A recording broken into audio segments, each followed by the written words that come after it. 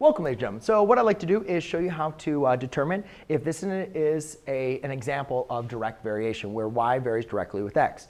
So to do that, and also to identify the constant.